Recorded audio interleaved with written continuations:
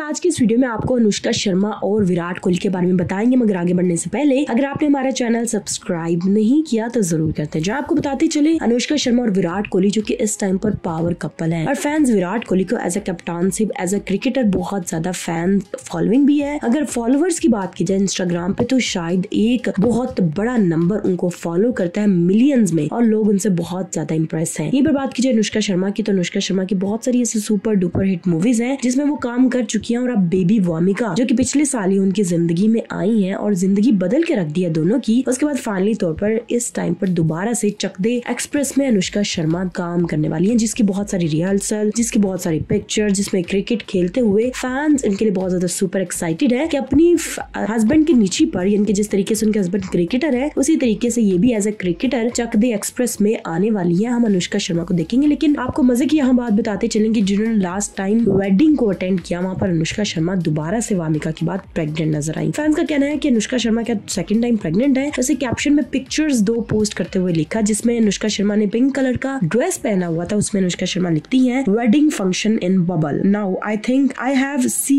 and celebrated possibly every function and festival in a bubble bubble life और ये बहुत ही खूबसूरत से कैप्शन के साथ वो खुद भी थोड़ी बबली बबली लग रही थी, यानी कि थोड़ी मोटी, जिसकी वजह से फैंस का कहना है कि इस तरह के कपड़े क्यों पहने हुए और फिर इतना ज़्यादा बेबी बम्प क्यों नज़र आ रहा है? क्या वाकई हमें वामिका के बाद दूसरी खुशखबरी मिलने वाली है? या वाकई चकदा एक्सप्रेस की मुकम्मल होने के बाद हमें वामिका के बाद एक सेकेंड चाइल्ड की गुड न्यूज़ मिलेगी? व्यूअर्स आपका क्या कह रहा है? हमें कमेंट सेक्शन में ज़रूर बताइएगा और अपना ढेर सारा ख्याल रखिएगा।